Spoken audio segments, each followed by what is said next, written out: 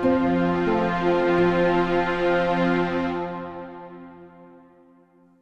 everybody. Welcome back to Investor News. I'm Peter Clausi. Today we're talking with Resouro. Resouro has an interesting deposit in Brazil. Brazil is a very mining-friendly jurisdiction. Today we have Chris with us, who's the CEO. Hi, Chris. Hi, Peter. Good to be here. Brazil is a very mining-friendly jurisdiction. Yeah, absolutely. Uh, I believe, particularly Minas Gerais, where we are, um, we're just northwest of Belo Horizonte, the mining capital of Brazil, just south of the Lithium Valley, um, just next to the Araxá niobium mine, which produces about 90% of the world's niobium. Brazil is one of the few places in the world where you can go from early-stage exploration through to um, start of construction in sometimes less than 24 months.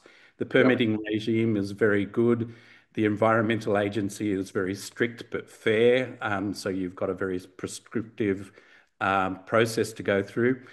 And um, the ANM, the mining uh, ministry, is uh, also very prescriptive in what you have to do to go through the process of permitting. The other big advantages of Brazil is the high-quality technical workforce.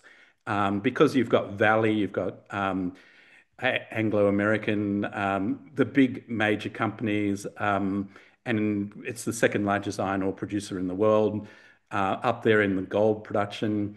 There are a lot of very good geologists, mining engineers, metallurgists in Brazil. So Brazil is a great place to develop a project. So let's talk about your project. What is it? Um, we have an NI 43-101 resource measured and indicated of 1.4 billion tons at 12% titanium dioxide and 4,000 ppm total rare earth oxide. Uh, and associated that with that is a supergene enrichment zone at surface, free digging, friable, 130 million tons at um, 23% titanium dioxide and um, about 9,100 ppm total rare earth oxide. So this is an amazing deposit in terms of you know, you have some deposits that are small and high grade. Um, you have other deposits which are bulk mining and low grade. This is a bulk mining immense deposit at high grade. So You have got the best of both worlds. So having read your documents, I know that your uh, total rare earths include the heavies and the lights. That's correct, yeah.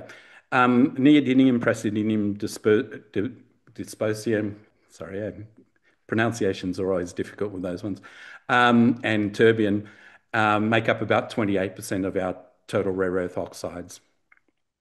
So there, there is a market for those out there. Oh, absolutely. Um, we're in discussions with various uh, groups to um, do the mixed rare earth separation. Um, the interesting thing about our deposit is that it's 71 km long. It's exactly 40 metres thick over 71 km. We've drilled 7% of the deposit. Sorry, I'm curious. If you've only drilled 7% of it, how do you know it's 71 km long? Oh, um, we've done uh, scout drilling. Uh, radiometrics actually work quite well. We've got quite low uranium and thorium, but it's enough to give a radiometric um, signature of the deposit. And we have 500, near on 500 square kilometers of concessions that follow formation called the Capacete Formation, and that's been mapped over 71 kilometers. So uh what's your background? Lawyer, engineer, geologist? Uh, one of the good guys, mining engineer. Um, this project for a mining engineer is completely boring because it's it's friable, free digging, no drill and blast um, at surface with very very little stripping ratio. So from a mining engineer point of view, it's it's cut and fill mining, rehabilitation as you go. So it's not a it's not a question of mining engineering. The real intellect and brains behind this project are the metallurgists, and we've got great metallurgists working for us. Processing, right? You've got to figure out a way to process the rare earth elements and the titanium oxide. Yeah, so uh, what we do is we would beneficiate uh, the ore, um, separate the coarse fraction of the titanium dioxide, and purify that using various means to produce a product for the titanium pigments market. And then we've got the finer fraction, which will be leached for rare earth elements, also leached for more titanium dioxide, which is more applicable to the um, titanium metals market because it, it's quite fine. So what do we um, need titanium for? Well, titanium, it's a big market. Virtually everything you see around you has some titanium in it. Uh, white, it's the white pigment and the white base for things like plastics and paint and anything that has a white base and then a color. So um, the titanium market. Is there, uh, is there any in my phone? Well, we will get onto titanium metal, which is the big growth market, which is really quite interesting for investors.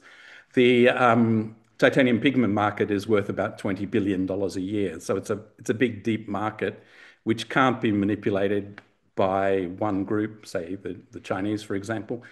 Um, and then you go into the titanium metals market, and there's a lot of new technologies. Um, you take titanium dioxide, you take the the oxygen out of it, and you you get titanium metal. Um, traditionally, there's been the Kroll technique, and now there's some new techniques for turning titanium dioxide into titanium metal powder for 3D printing of titanium components. Oh, like and scandium, that, right? Scandium as well. Um, yeah. We have minor scandium at our deposit, but we, we really scandium is found in, in the 3D printer ink. So you're you think uh, titanium is going to get into that market? No, um, titanium is actually 3D printing of titanium metal objects. Ah, so okay. for aerospace. So the the stages are we make a titanium uh, dioxide concentrate that can convert to titanium metal powder.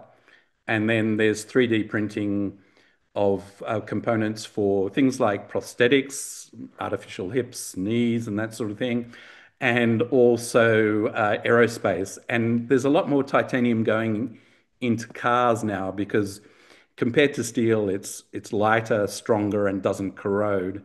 It's more expensive, but um, we've you know, it's all about the economies of scale and new technologies. So producing titanium metal is going to reduce in cost. On the corporate side, uh, the company shares trade on the uh, TSX Venture Exchange. They also trade in Australia and through the OTC, right? Correct. Yes. Yeah. Market, cap of around $15 million? Uh, our market cap currently, um, we're trading um, we've been trading around 40 cents, so and we've just got over just over 100 million shares in issue, so we're about 40 million Canadian. Okay, the data I have is wrong or out of date. It's, I'm peeking well, possibly, at it um, about 50% of our shares are ADRs on the Australian market and 50% on the Canadian market. So you're probably looking at 50% of the market cap. Okay. So what's next then for the company? Well, the big news and the big catalyst for revaluation of the company is um, us publishing our preliminary economic assessment.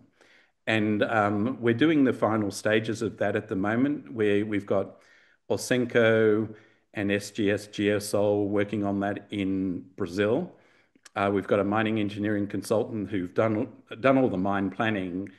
Um, and we're just focusing on the high-grade zone, um, we've got 130 million tons of that um, at high grades uh, at surface. Um, so we're looking at publishing a PEA based on 500,000 tons per annum of ore.